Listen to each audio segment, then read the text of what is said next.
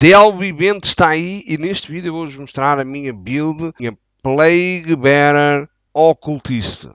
Can you hear it, Exile? Madness approaches. Olá meus amigos, estamos de volta e queria falar então sobre esta build que eu escolhi para o próximo evento. Antes de eu vos falar sobre a build, enquanto vocês estão a ver a gameplay, eu queria falar porque é que a escolha da build neste evento é diferente do normal. Porque o objetivo do evento é vocês uparem um personagem usando a Delvo. Usando a Delvo, não é ir o mais longe possível.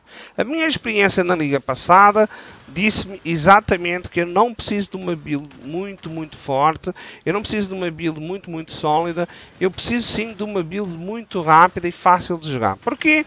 Porque vocês vão estar durante bastantes dias, se animarem com a liga, uh, a farmar Delve. E Delve é o quê? É um caminho. Vocês farmam um caminho correm, chegam num objetivo, como este que vocês estão a ver agora na tela, e depois têm que limpar a área durante uns segundos, ok? Vocês não precisam de nenhum boss killer, não precisam de nenhuma build mega tanque, vocês não precisam de estar a farmar DL 500, nem 1000, nem 3000, nem nada disso. Vocês precisam sim de estar numa profundidade que está dando XP. Portanto, se vocês estiverem a level 70, Monster level 69, que é o que eu estou agora, faz sentido. Se o vosso personagem estiver a level 80, profundidade 75, continua a, ser, a, fazer sentido. Se vocês estiverem a level 90, monstro level 80, 83, faz sentido. Vocês não precisam de mais nada. É só matar o mais rapidamente possível. Então, a minha experiência na liga passada disse-me que eu, não, eu preciso de uma build que seja rápida, que tenha um AOE, que eu consiga matar os monstros todos enquanto eu estou no caminho ok? Eu aqui neste caminho eu não quero apenas equipar, porque eu quero upar o meu personagem. Então eu quero uma build que eu possa passar aqui pelos caminhos correndo, mas que eu tenha garantia que também vá matando os monstros para ir farmando este XP uh, que os monstros representam, né? E depois chegar aqui o mais rapidamente no node, limpar a zona o mais rapidamente possível. Eu tenho que ter dano para matar estes exiles que aparecem aqui. Portanto, ele tem que ter algum tipo de dano de single target. Mas depois eu quero farmar todo o caminho. Porque o objetivo final é este que vocês estão a ver. Que é pegar estas recompensas para tentar melhorar a nossa build para farmarmos ainda mais rápido. Ou então no início para construirmos a nossa build.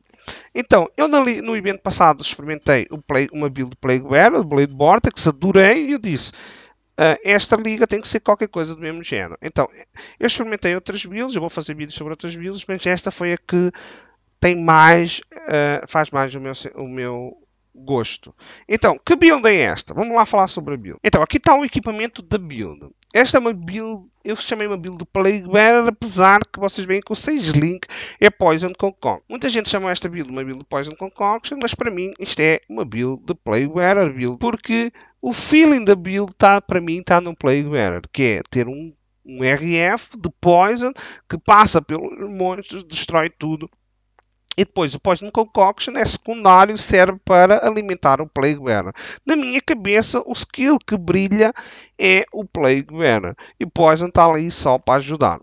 Então nós queremos que o nosso Poison Concoction tenha força suficiente para matar os, os Exiles e tudo isto. E que funcione para matar monstros enquanto o Plague Bearer não pode estar ativado. Ou para acelerar o clear dos monstros enquanto o Plague Bearer também está a ser ativado. Então, o nosso player é 6 link. Vocês vão tentar pegar a vossa tábua rasa. Vocês estão a ver que eu estou a jogar na tábua rasa. Se conseguirem algum único melhor, como por exemplo o que está na tela, o carcaço seria ideal, tipo com mais área, com mais área damage, mas não precisa nada disso. Então, vocês podem ver que o Poison Concoction está linkado a Life Tap, a Great Multi, a Great Bowling, Porquê? Mais projéteis, mais projéteis, mais frascos, mais frascos, mais uh, explosões. As explosões fazem overlap e dão mais dano e tem mais clear.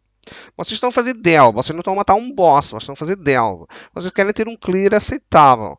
Então faz todo sentido. Depois tem o Unbound, e o Void Manipulation para ter suporte de caos para dar mais dano. Então, este é o nosso single target, que apesar de ser um skill tem bastante AOE. Depois temos o nosso Plague Bearer no elmo, com Increasar of Effect, eu quero que o meu RF seja grande, é para ser clear, para limpar enquanto eu barro o caminho. E temos o Withering Step, que é o skill de movimento. Depois temos duas auras, Precision e Grace. Eu tenho uma Precision ali no elmo, que vocês podem ver que não está linkado e tenho a Grace nas luvas, que são as nossas duas aulas. Se vocês tiverem dificuldades no início, vocês podem trocar o, o Grace, por exemplo, por Purity of Elements se tiverem problemas de resistência no início. Provavelmente é o que eu vou fazer no início, enquanto o equipamento for bosta, eu vou andar com Purity of Elements. Depois, reparem que temos live tap em quase tudo. Porquê? Porque eu nós vamos reservar a nossa mana, nós não vamos querer ter problemas de mana e vamos pôr life tap em tudo. Nós vamos pôr life tap no Poison Concoction, vamos pôr life tap no nosso skill de guarda, que eu tenho aqui Steel Skin, podem usar Immortal Call, podem usar o que vocês quiserem, é uma questão de gosto. Eu aqui na imagem tenho live Steel Skin, ali, ali nas luvas por acaso estou a usar Immortal Call, vocês usam o que mais gostarem, no level que vocês acharem mais confortável. Skills de movimento. Estamos com o Shield Charge, Flame Dash, linkados ao Life, ao life Support e Faster Ataques.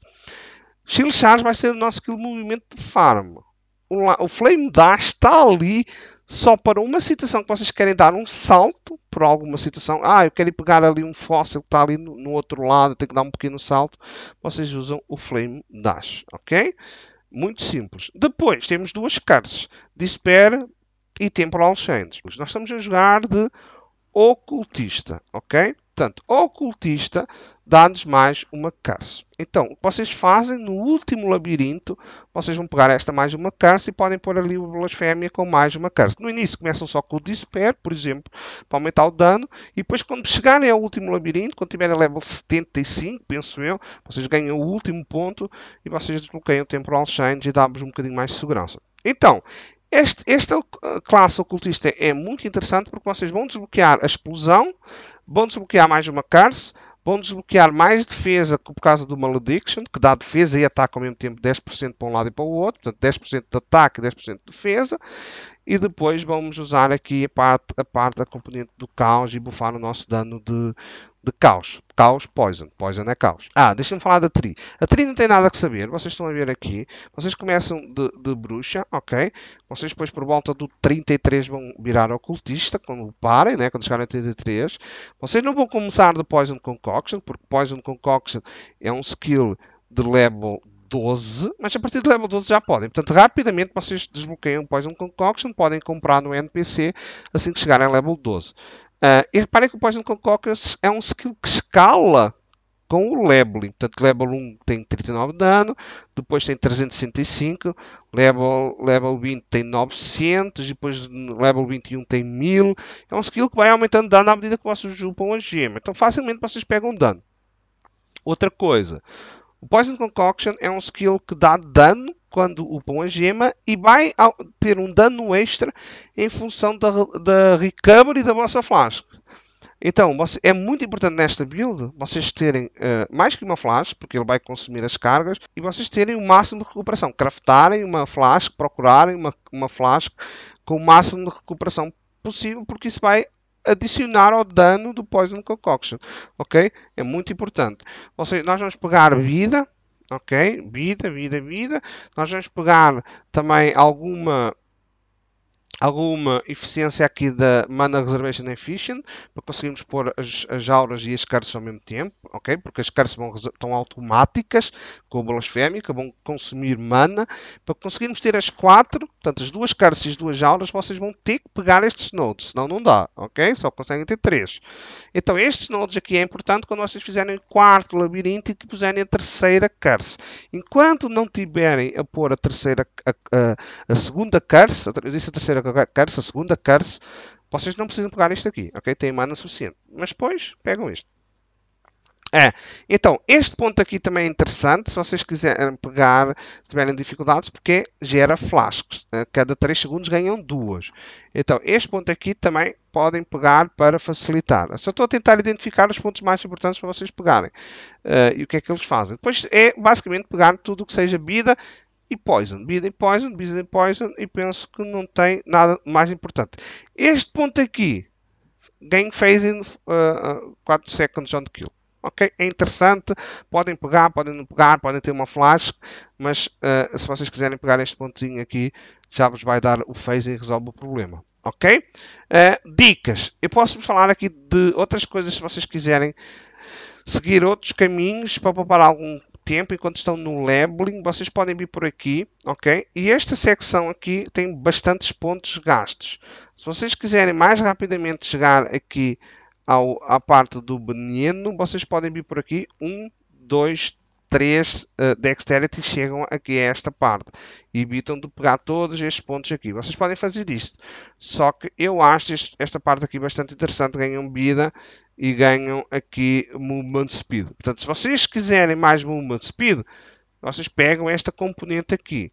Se vocês quiserem uh, poupar pontos para acederem mais facilmente a estas partes aqui de Poison, vocês vêm por este caminho aqui. Só estou a dar a dica porque são possibilidades. Eu vi muitas tris para, montar esta build, vi muitos guias, Zizarantes, tudo o que era streamer conhecido, eu dei uma olhada. E na realidade vocês podem fazer esta opção aqui e mais rapidamente chegam a estas componentes aqui do Poison. Portanto, é uma opção, se vocês quiserem no início.